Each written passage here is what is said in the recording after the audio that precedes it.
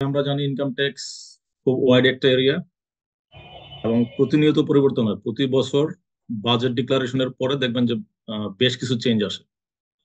আর এই বছর income tax act প্রণয়ন করা হয় ছাব্বিশে সরি বাইশে জুন দুই হাজার তেইশ। তার এগারের নাম ছিল ইনকাম ট্যাক্স অর্ডিন্যান্স অর্ডিন্যান্সটাকে চেঞ্জ করে অ্যাক্ট প্রণয়ন করা হয় এবং ইংলিশ টেক্সট থেকে এটা বাংলা টেক্সটে কনভার্ট করা হয়। এই কারণে গত বছর যে আইনটা পড়ছেন আমরা বা অর্ডিন্যান্স যারা আমরা পরিচিত, তারা একটু ট্র্যাক করতে প্রবলেম হতে পারে। আর প্রথম বিষয় হলো যে ইনকাম ট্যাক্স প্রণয়ন করা হয়েছে ট্যাক্স রেভিনিউ কালেকশনের জন্য। তাহলে ট্যাক্স রেভিনিউ আদায় করা হয় যারা ট্যাক্স দেন তাদেরকে বলে ট্যাক্স পেয়ার এই ট্যাক্স পেয়ারের দুইটা মেজর ক্লাসিফিকেশন আছে একটা হলো কর্পোরেট আর একটা নন কর্পোরেট তাহলে ইনকাম ট্যাক্স রিটার্ন প্রিপারার মানে টিআরপি টিআরপি হিসেবে যাদের অ্যানালিস্ট করা হবে তাদের জন্য বলা হয়েছে যে টিআরপি হবেন হওয়ার জন্য আপনার কি কোয়ালিফিকেশন থাকতে হবে। আর টিআরপি হওয়ার বা টিআরপির যে কনসেপ্ট এটা অ্যাডাপ্ট করার মূল কারণটা কি? মূল কারণটা বলা আছে যে আপনি প্রান্তিক পর্যায়ের ইনকাম ট্যাক্স পেয়ার তাদের income tax return fill up করবেন। তার মানে প্রথমে বলা আছে প্রান্তিক পর্যায়ের। এবং যারা প্রথম বছর রিটার্ন দিতে যাচ্ছে তাদের রিটার্ন আপনি ফিল আপ করবেন তাহলে প্রান্তিক পর্যায়ে মানে কি? যার আয় এবং ট্যাক্স মোটামুটি তুলনামূলকভাবে কম। তাহলে প্রথমে বিষয়টা যেটা আসছে প্রান্তিক পর্যায়ে এবং বলা আছে যে আপনি প্রথমবার রিটার্ন সাবমিট করে এরকম ব্যক্তির এবং দেখবেন সার্কুলারে বলা আছে যে যে টিআরপির জন্য অ্যাপ্লিকেশন করবে, তার ব্যক্তি শ্রেণির করদাতার রিটার্ন ফিল আপের সম্যক ধারণা থাকতে হবে। তাহলে সম্যক ধারণা বলছে শুধু ব্যক্তি শ্রেণির করদাতা। তার মানে কি? ব্যক্তি শ্রেণির বাইরে যারা আছে, তাদের জন্য আপনার খুব বেশি নলেজ থাকার দরকার নেই পরীক্ষা পাশ করার জন্য। এখন প্রথম বলা আছে কি যে, ব্যক্তি শ্রেণির করদাতার রিটার্ন ফিল আপের সক্ষমতা থাকতে হবে। তাহলে আপনি যদি ব্যক্তি শ্রেণির রিটার্নটা ফিল আপ করতে পারেন, তাহলে আপনি ধরে নিতে পারতেছেন যে আপনার পরীক্ষা উত্তীর্ণ হবেন। আমরা টপিক্স বেস আলোচনার আগে আমরা রিটার্নটা একটু রিভিউ করব। আর রিটার্ন রিভিউ করার আগে টিআরপি কারা? কারা টিআরপি হতে পারবেন? সেই বিষয়টা একটু আলোচনা করব। সার্কুলার যেটা বলা আছে, দেখেন যে হাইলাইটেড এরিয়াটা যে সকল করদাতা প্রথমবারের মতো আয়কর রিটার্ন দাখিল করবেন। তাদের আয়কর রিটার্ন প্রস্তুত ও দাখিল করার জন্য জাতীয় রাজস্ব বোর্ড আয়কর রিটার্ন প্রস্তুতকারী তালিকাভুক্ত করবে। তাহলে তালিকাভুক্তর আগে তারা পরীক্ষা নেবে।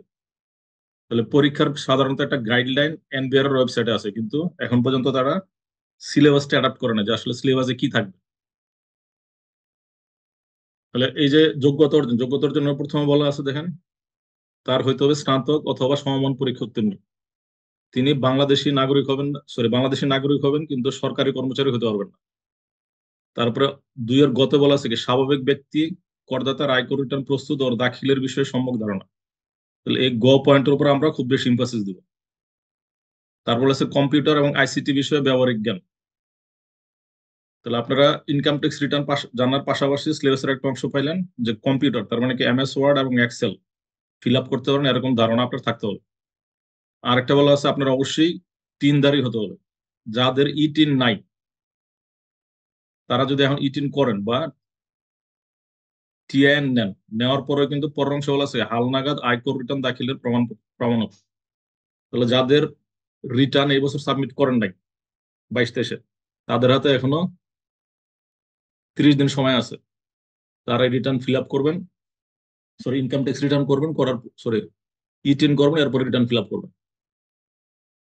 যদি আপনার পিএসআর না থাকে বা হালনাগাদ আয়কর রিটার্ন না থাকে বা টিন না থাকে, তাহলে অ্যাপ্লিকেশন করার পর আপনার অ্যাপ্লিকেশনটা ক্যান্সেল হতে পারে।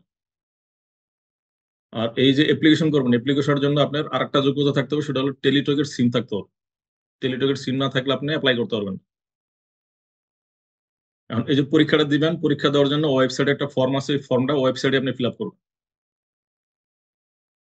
আর যারা পূর্ববর্তী সময়ে আইটিপি হিসাবে রেজিস্ট্রেশন নিয়েছেন কারণ আইটিপি বলতে খালি আইটিপি এক্সামে যারা কোয়ালিফাই করছেন তারা না সিএস সিএ সিএমএ এবং বার কাউন্সিলের মেম্বার যারা তারাও আইটিপি হিসেবে বিদ্যুৎ হন তারা টিআরপি পরীক্ষায় পার্টিসিপেট করা দরকার নাই। তারা শুধুমাত্র বিসিএস ট্যাক্স একাডেমির যে সার্কুলার ওই সার্কুলার মধ্যে দেখবেন ওয়েবসাইট দেওয়া আছে। ওয়েবসাইটে একটা ফর্ম আছে অ্যাপ্লিকেশন ফর্ম অ্যাপ্লিকেশন ফর্মটা আপনারা ডাটাবেজে ফিল আপ করবেন ফিল আপ করার পাশাপাশি আপনারা আপনার educational certificate latest PSR provide করবেন। ওটা রিভিউ করার পরে যদি এনবিআর রিকমেন্ড করে, তাহলে আপনি টিআরপি হিসেবে নিবন্ধিত হতে পারবেন।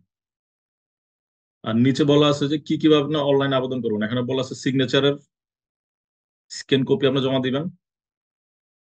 রঙিন ছবি দিতে বলছে এবং বলছে যে রিটার্নটা ফিল সরি ফর্মেটটা ফিল আপ করার পরে এটার একটা পিডিএফ ফর্ম আপনি নিয়ে রাখবেন। এই পিডিএফ ফর্মটা প্রতিবার যে কোনো সময় প্রয়োজন হতে পারে। বিশেষ করে আপনার যখন বাইবা বোর্ডে যাবেন, তখন এই ডাউনলোড ফর্মটা আপনার কাজে দিবে আমরা অ্যাটিকেলসে দেখে আমাদের সিলেবাসটা কীভাবে কাভার হবে। তাহলে অ্যাডভার্টাইজমেন্টটা মোটামুটি দেখলেন। দেখার পরের অংশ দেখেন দুই নম্বর আছে কি? এসআরও দুইশো সাত। সেটাতে বলা আছে টিআরপি রুলস টিআরপি রুলস এর একটা ওয়ার্ড আপনারা বাদ দিবেন না। টিআরপি রুলস এর প্রত্যেকটা ওয়ার্ড খুব মনোযোগ সহকারে পড়বেন। তাহলে এখানে বাইশ সরি বিশটা রুল আছে। বিশটা রুলের মধ্যে কোনটা কোনটা ভালোভাবে পড়তে হবে স্টার মার্ক করা আছে। তারপর এটা বলা আছে, দেখেন এসআরও দুশো ছেষট্টি। তো পরীক্ষার হলে কখন আপনারা এই রেফারেন্স হিসাবে specific section number rule number এগুলি লিখতে যাবেন না। আর পরীক্ষাটা সাধারণত বাংলায় হয়। তো বাংলায় হইল যারা ইংরেজিতে কনভার্সেন্ট কারণ বাংলায় লিখতে গেলে লেখার গতি একটু কম থাকে, বা অনেক লিখতে হয়। আর ইংরেজিতে একটু সংক্ষেপে লেখা যায়। তাহলে যারা ইংরেজিতে ভালো ওয়েল কনভার্সেন্ট তারা ইংরেজিতে দেওয়ার চেষ্টা করবে। আর সেকশন রেফারেন্স ভালোভাবে মনে না থাকলে আপনারা সেকশন উল্লেখ করবেন না তো তারপর একটা দেখেন এসআরও দুশো ছেষট্টিতে বলা আছে আইটিআর আইটিআর হলো ইনকাম ট্যাক্স রিটার্ন রুলস তাহলে এই রিটার্নস রুলে আপনার কি কি জিনিস আছে দেখেন? নিচে একটা যে হাইলাইট করা বুলেট পয়েন্টে যেগুলো দেওয়া আছে। এখানে রিটার্নের নাম দেওয়া আছে, কোন ধরনের রিটার্ন কার ক্ষেত্রে প্রযোজ্য? তার মধ্যে দেখেন ন্যাচারাল পার্সন তার জন্য একটা এক পাতার ফর্ম আছে। আরেকটা আছে এই যে আইটি গ দুই হাজার তেইশ, এটা হলো এগারো পাতার ফর্ম এই এগারো পাতার ফর্মটা আমরা ভালোভাবে যদি বুঝি, তাহলে টিআরপি পরীক্ষা পাশ করা আটকাতে পারব নাকি? তাহলে এই ফর্মটা আমরা গো থ্রু করব। এই ফর্মটা যদি আমরা ভালোভাবে বুঝি, তাহলে দেখবেন যে এটার সাথে রিলেটেড ইনকাম ট্যাক্সের যত সেকশন আছে সবগুলি কাভার করব। কোম্পানির রিটার্ন আপনাদের পড়া দরকার নেই। নন কোম্পানি সরি কোম্পানি এবং ইন্ডিভিজুয়াল ব্যতীত আরেকটা রিটার্ন আছে, সেটাও পড়া দরকার তাহলে প্রথম দুটা রিটার্ন আমরা খুব ভালোভাবে দেখব।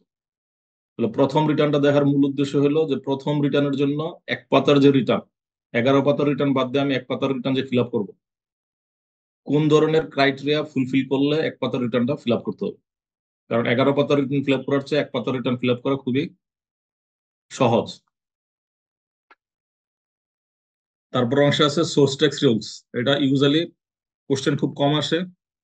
তারপরে আমরা সময় পেলে এটাতে গোত্র করব।